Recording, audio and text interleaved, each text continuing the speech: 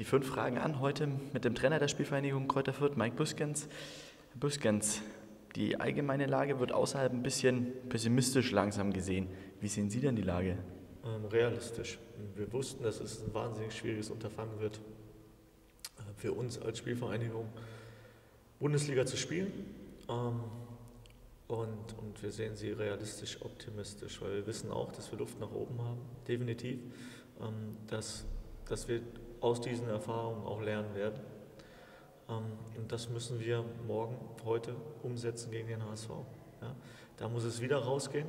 Ähm, da müssen wir unsere eigenen Fehler minimieren und ähm, ja, die Leidenschaft zeigen, die uns stark gemacht hat. Morgen kommt der HSV, eine Mannschaft, die so in den letzten drei Spielen ein bisschen im Aufwind war, sieben Punkte aus dieser englischen Woche mitgenommen hat. Ist es auch ein bisschen so die Mannschaft der Stunde? Ja, die Mannschaft der Stunde, sie haben sich befreit aus einer, aus einer doch für sie ähm, sehr, sehr misslichen Lage, weil als Bundesliga-Dino hm, hast du andere Ansprüche, als gegen den Abstieg zu spielen. Das ist ihnen gelungen über eine kleine ähm, wirtschaftliche Finanzspritze von weit über 20 Millionen. Und, und ja, da, ja, da haben sie von ihren Möglichkeiten Gebrauch gemacht, von ihren externen Möglichkeiten. Dank dieser haben sie Raphael van der Vaart äh, verpflichten können, der Spieler, der so beim Hamburger SV ein bisschen herausragt. Was sind so die Eigenschaften, die ihn ja auszeichnen auch? Ja, ist ein Spieler, der sehr gut zwischen den Ketten spielt, der ähm, so als hängende Spitze äh, Rudnevs unterstützt, der sich auch immer wieder ins Mittelfeld oder auf die Seiten fallen lässt, der über sein Passspiel in der Lage ist, diesen finalen Ball zu spielen. Das hat er auch jetzt in der Zeit beim HSV schon äh, mehrfach unter Beweis gestellt. Das macht ihn aus und, und es ist unsere Aufgabe, diesen Bewegungsradius einzugrenzen. Anschließend daran die Frage, was muss Ihre Mannschaft morgen zeigen, damit es ein erfolgreiches Spiel wird? Ja, es, ist, es geht um Basics. Es geht darum, ähm, kompakt zu sein. Es geht darum, den anderen zu unterstützen. Es geht darum, auch nach, nach verlorenen Zweikämpfen den Kopf oben zu behalten ähm, und, und, und sich dieser Situation zu stellen, die, ähm, die im Moment so aussieht, dass wir mit vier Punkten vorletzter sind. Wir hätten uns den einen oder anderen Punkt mehr gewünscht. Wir wussten aber auch um die Schwere des Anfangsprogramms und, und von daher geht es jetzt nur darum, die Situation so anzunehmen, wie sie ist.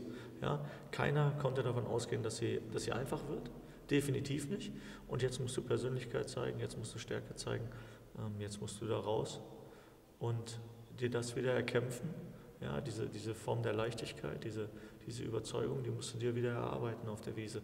Die kriegst du von keinem geschenkt. Äh, da wird keiner kommen und dir den Weg weisen, sondern ähm, du musst selbst wieder auf diesen Pfad finden. Abschließend vielleicht noch ein Wort zu den Fans, weil wenn man sich so die Stimmung in den letzten Spielen hat anschauen oder angeschaut hat, dann hat man fast das Gefühl, hat, würden um die Champions League mitspielen. Ja, die ist, die ist, da muss ich auch bei lächeln. Ähm, die ist wirklich sensationell. Das ist, das ist etwas, ja, womit ich so nie gerechnet hätte. Ähm, wir haben lange darum gekämpft, das, das, Herz der Leute zu gewinnen oder das Herz der, der Fans zu, zu erreichen. Das ist uns gelungen durch, äh, durch unsere Art und Weise Fußball zu spielen in der zweiten Liga, äh, mit, mit viel Leidenschaft und Begeisterung ähm, und, und einem großen Offensivdrang. Wir müssen jetzt wieder zu dieser Stabilität finden, zu der, auch zu der Einfachheit des Spiels, zu der Klarheit in diesem Spiel. Aber was die Fans hier abreißen, ist wirklich sensationell, weil ähm, ja, wir haben jetzt dreimal zu Hause verloren und die Leute sind positiv geblieben. Und dafür möchte ich mich bedanken, weil ich weiß, das ist eine Seltenheit heute im Fußball, in diesem schnelllebigen Geschäft, weil es ist teilweise ja auch äh, nur noch ein Geschäft.